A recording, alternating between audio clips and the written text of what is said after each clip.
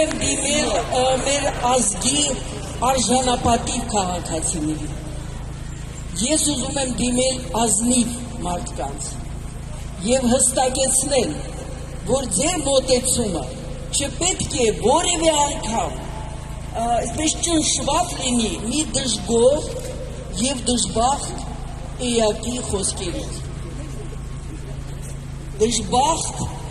եւ դժգույն էակը չպետք է մտնի ձեր հոգիները դա առաջինը երկրորդը մարդու իրավունքների որպես առաջի պաշտպան ես ուզում եմ ասել հետեւյալը ինչ է նշանակում բարոյական պատասխանատվություն այսօր վարչապետի աթորը զբաղեցնող անձը պետք է անպայման հրավիրվի եւ պատասխանատվություն կրի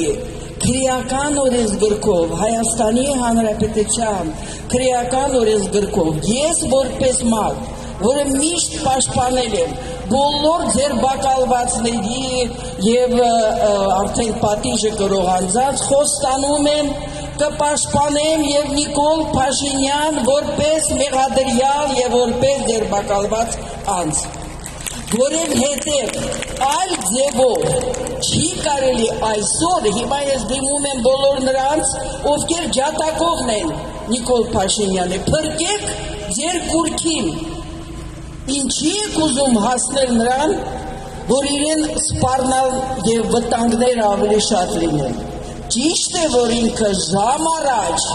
հերանա, ճանաչի իր պատասխանատվության այն չափաբաժինը, որը պետք է հստակ չափվի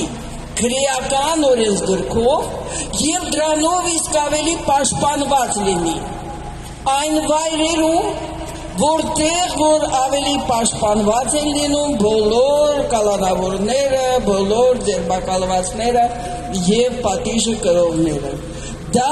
լավագույն ելքն է մի անձի համար, որը երկու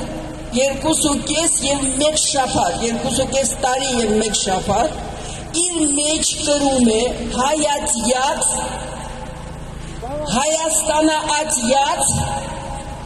ամբողջ այդ պաշարը եւ մենք պետք չի դա կոչենք այլ անունով 30 տարի ես զբաղվում եմ պատանդներով, զինգերիներով, անհայտ կորածներով։ Ցավոք սրտի այսօր մենք չենք էլ կարող ասել, թե մենք ինչքան ունենք անհայտ կորած, ինչքան ունենք զինգերի եւ ինչքան ունենք պատանդ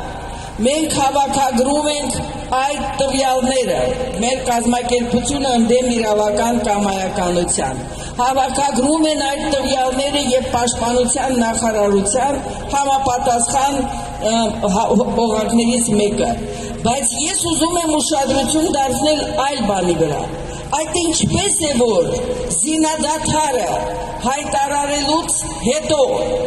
պատանտվում են առնվազն 6 մարդ, որոնցից երկուսը 85 եւ 75 տարեկան ամուսնական զույգը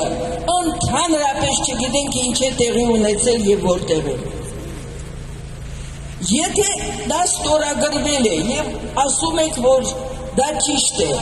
ինչ մեխանիզմներով եք դուք հետևում այդ զինադադարի պայմանների պահպանմանը եւ ինչպես է գործելու այդ զինադադարի պայմանները խախտողի հետ